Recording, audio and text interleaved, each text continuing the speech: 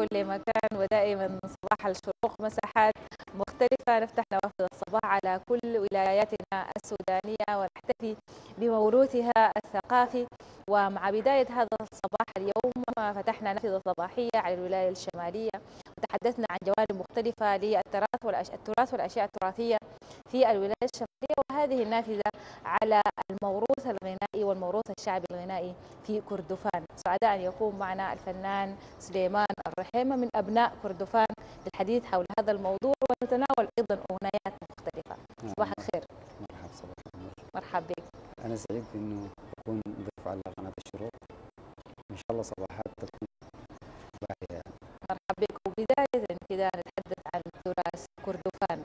والغنى كردفان هو مرتبط بالحكاية الشعبية مرتبط بالحكاية المجتمعية وجوانب مختلفة حتى في النفير في الزراعة في غيرها الغنى موجود. خلينا نتكلم عن الجانب ده. والله يا كردفان هي طبعا يعني غنية بالتراث. وبعدين القبائل فيها شتى. فنحن اترعرعنا وبقينا يعني أو نهلنا من الصبابونة. حاجات جميلة جدا. زي ما قلت في النفير وفي التراث وفي الأعراس إيقاعات مختلفة. الحمر والمسيرية وال وال وال وال والبني بدر والبديرية والنوبة. هي قبائل والنوبة، مختلفة. قبائل مختلفة نعم. لكن خلينا نتكلم عن الإيقاعات الموجودة في المنطقة والله إيقاعات مم. لكن أبرزها شنو؟ آه ال- ال- النوبة عندهم الكرن دي دي معروفة بعد ذاك عندهم حاجات كل قبيلة جواها عندها في من قبائل النوبة عندها إيقاعات يعني نحن الكاكو عندهم الإيقاع بتاع بتاع ال- التوش وعندهم إيقاع بتاع الدكتل وعندهم يعني إيقاعات مختلفة ل- لكل مناسبة براها والإيقاعات بتاعت المسيرية برضو إيقاعات مختلفة الحمر عندهم الجراري والطوي والحسيس وكده. فحاجات ما بتتحصر يعني كردفان بال- بالتراث. ويمكن هو حتى الإيقاعات إذا تكلمنا مثلا عن الجراري هو مرتبط بالإبل أكثر أو إيقاع ال- الحيوانات وال- مسيرة المنطقة وبيئة المنطقة. نعم. الكرن لأنه هو مثلا مرتبط بالبقارة وغيرها لأنه مثلا. النقارة نعم. النقارة أكثر فالإيقاع بيكون حتى هي من طبيعة ال- المنطقة. نعم. نعم. طيب حنسمع شنو؟ بداية كده أو خلينا نسمع مباشرة آه جدا. تفضل. العود معك تفضل.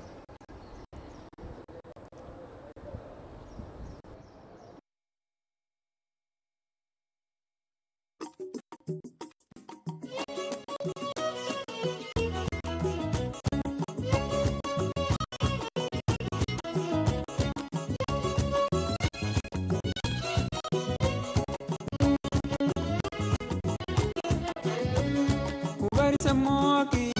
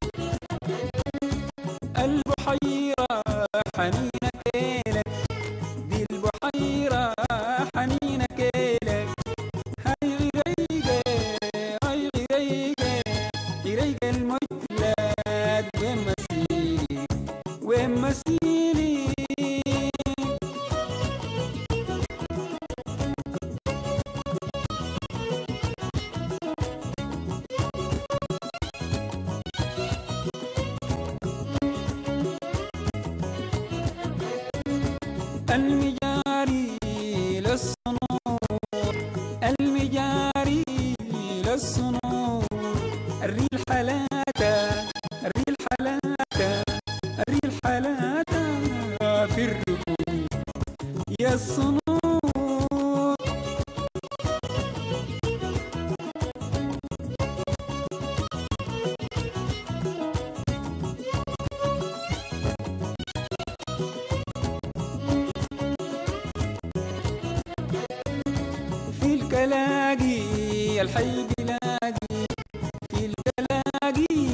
الحي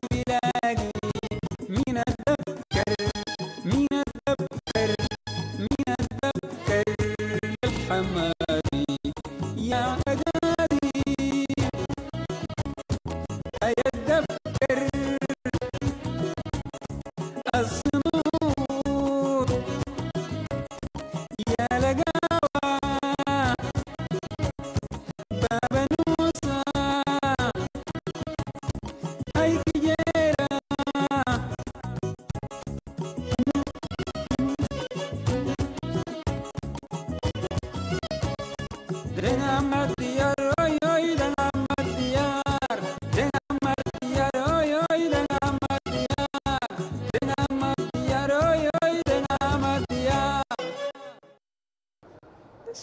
شكرا. يديك العافية. التحيه لك والتحيه لكل أهلنا في كردفان وهذا الموروث الغنائي. وإنت ذكرت من خلال الأغنية مناطق مختلفة وموروثات مختلفة. وكنا بنتكلم قبل الأغنية عن ارتباطك بشكل خاص بال- بالتراث. شنو الأشياء الجاذبة اللي خلتك أنت أصلا مرتبط بتراث كردفان؟ أول حاجة أنا عشت في بيئة أنا اتولدت في جبال النوبة. مهم. ماخذ من أهالي المسيرية وماخذ من أهالي ال- البني بدر والبديرية. و- و- وايقاعات النوبة ذاتها. فالبيئة والطبيعة الجميلة. نحن ال- الغنى ده شلناه يعني أنا شلته من من صغير خاتيه وفي بالي وأنا برا والله يا أخي أنا لو بقيت كبير والله لا أبقى فنان. وكان عندنا أستاذ يعني خلاني أنا أحب العود. شفته بحب اعزف العود وقلت والله أنا بعدين الا أبقى فنان وأعزف ال- ال- ال- العود ده. فالحاجات دي صبرت عليها وعلى الإيقاعات عملتها. عملت على إيقاعات الجراري. عملت على ايقاعات ال- الطنبور الكردفاني. الطنبور الكردفاني باخذ من التمتم الوسط والتمتم الخليجي إيقاع مشكل. فبعد ذاك عندنا المردوم. فالزول لما يعيش الحاجة ما زي الزول اللي يسمعها أو يسمعها في الوسائط أو يسمعها في الإذاعة زمان أو في التلفزيون كده ويقوم يعمل عليها.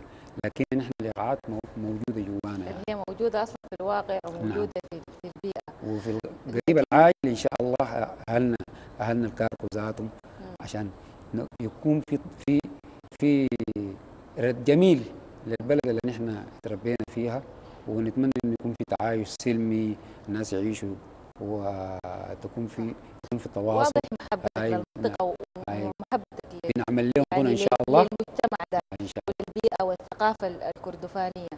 ذكرت إنه هو يعني أهمية العمل في التعايش السلمي في المنطقة. نعم. فدايرين نتكلم كامتداد للتراث الدور اللي قامت به الأغنيات المختلفة في التعايش السلمي. والله ال- إنت لما تغني آه، الفنان يعني عنده رسالة لابد إنه يقدمها للمجتمع. فانت ما تغني إلا الغنى بتاع الوسط أو تغني الغنى بتاع الأفراح. فانت رسالتك إنك لازم تترجم الشيء داخلك ده تعالج به بعض قضايا المجتمع. فمن ضمنها آه، أنت كابن منطقة لابد إنك أنت تفهم الناس تقرب لهم لأنه شنو؟ الفن ده من القلب للقلب. فلما أنت تقدم حاجة آه، رسالة عبر عبر الغنى لك أسرع من من مؤتمر وحاجات زي كده يعني. هنسمع مع العود أغنية ونرجع نواصل حديثنا.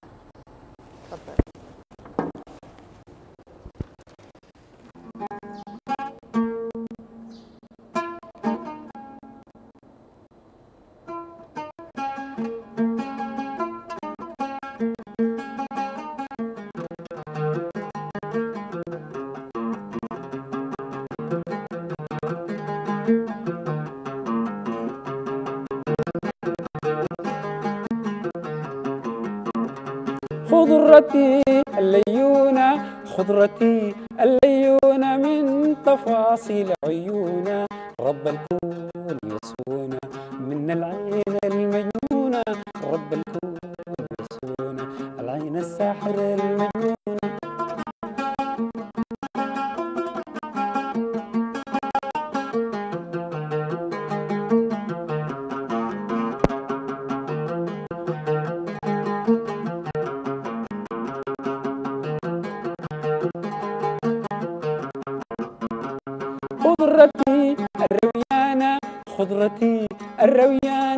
الرويانة العيون الكحلة النعسانة وين وين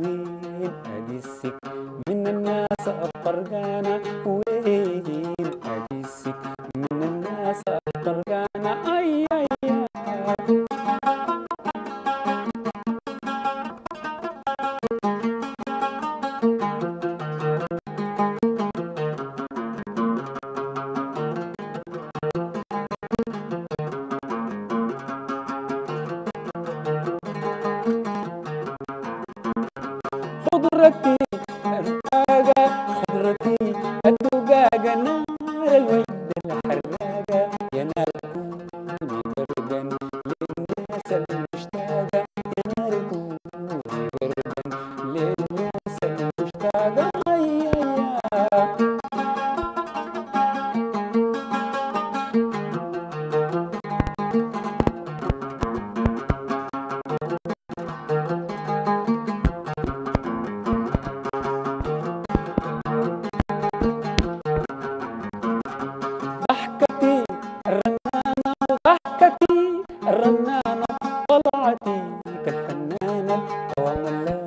الذين حاضين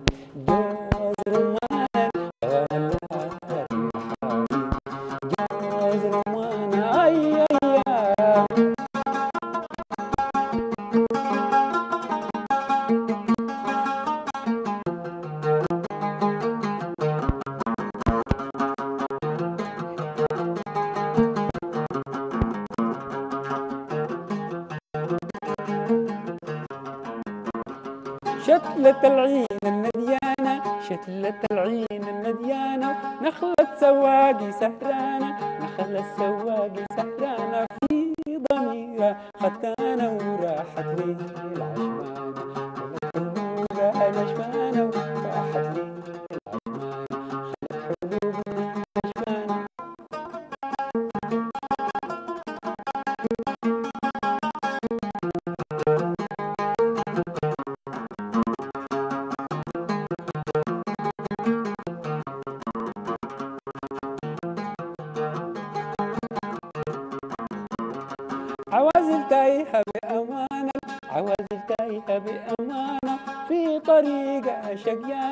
وفي طريقة شقيانة في طريقة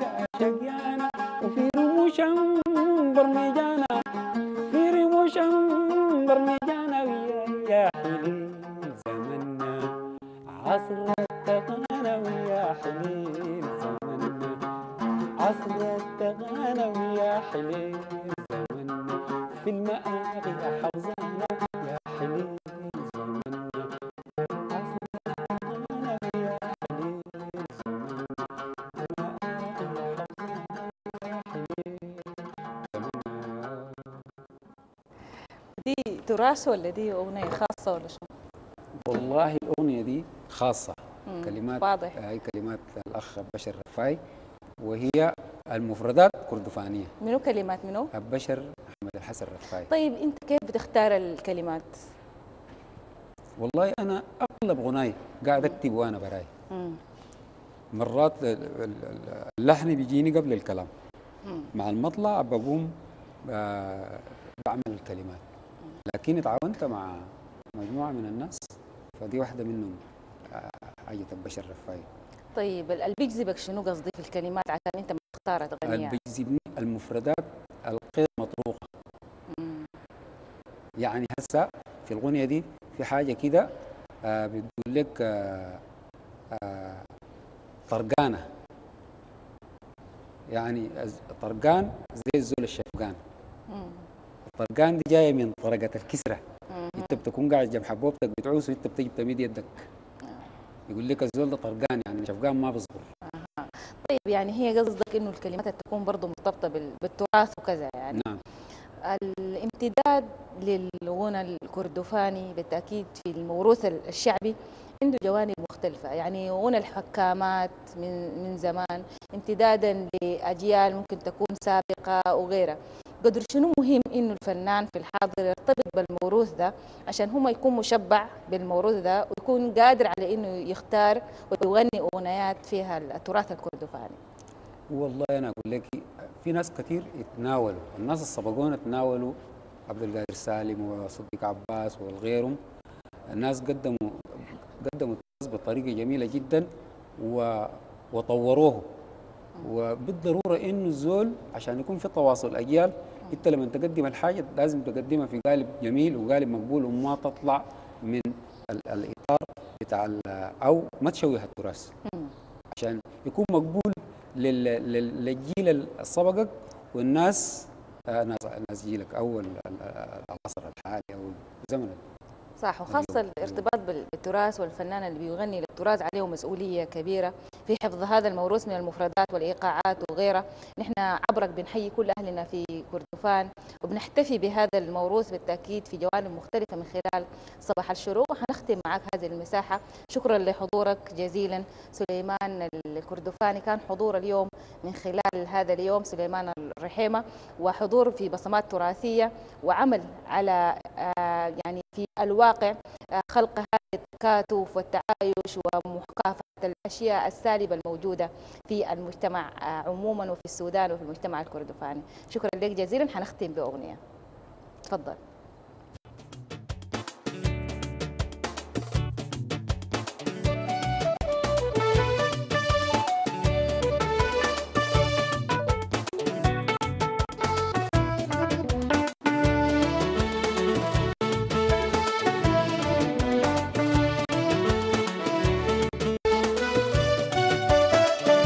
قدرتي الليونة قدرتي الليونة من تفاصيل عيونة رب الكون يصفونا من العين المجنونة رب الكون يصفونا العين الساحر المجنونة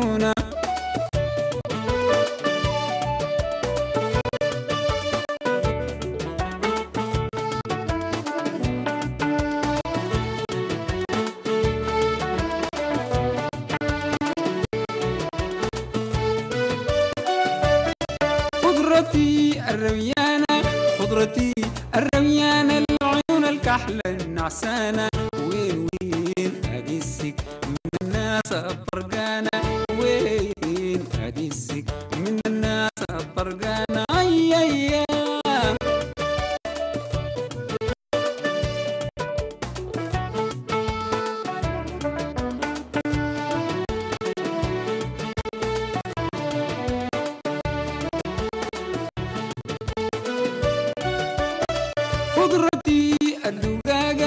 خضرتي الدقا